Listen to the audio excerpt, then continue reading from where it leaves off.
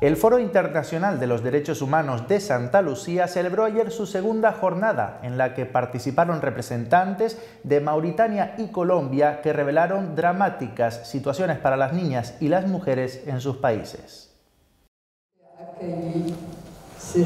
Las fosas comunes que hay en todas las partes del país, en las que se pueden encontrar cuerpos arrojados sin algún tipo de humanidad.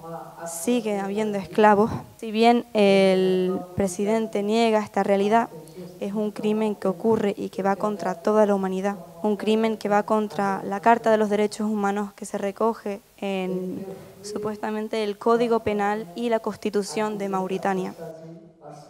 Cada día vemos que nos quieren hacer a un lado, cada día vemos que nos quieren reprimir, eh, que, quieren pasar por encima de nosotros y no podemos permitirlo, no podemos seguir viviendo en un, en un país donde haya eh, patriarcado, donde haya neoliberalismo, donde haya colonialismo, donde haya capitalismo, por encima de lo que sea.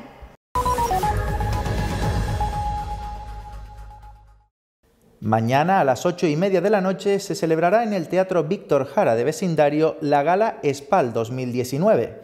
Durante el evento se entregarán los premios solidarios de este año que serán para las Kellys y Elena Maleno por su lucha por los derechos humanos. A continuación tendrá lugar el concierto de Xiomara Fortuna, que llega por primera vez a Gran Canaria para presentar Son Verdad, su decimocuarto disco editado en 2018. Las entradas se pueden adquirir por el Ateneo de Vecindario en la web en3.es o mañana en las taquillas del teatro.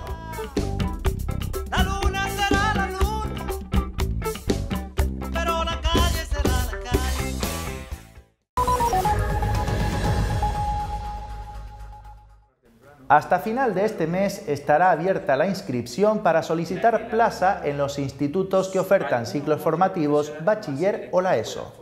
El director del IES Santa Lucía habló de este asunto y de otros temas de la actualidad del centro en el programa Educar en Familia, que se emite cada martes en Radio Tagoror. También nos dejó muy clara la oferta formativa actual de su centro.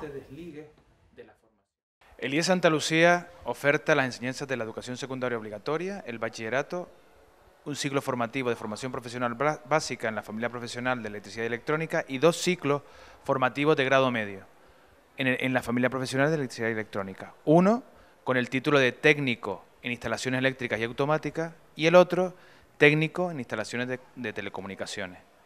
Les animo a todos a que desde el 2 al 30 de abril está abierta la solicitud de plaza en todos los ciclos formativos de grado medio y en particular en los ciclos formativos de grado medio de IE Santa Lucía. Les animo, hacen falta titulados.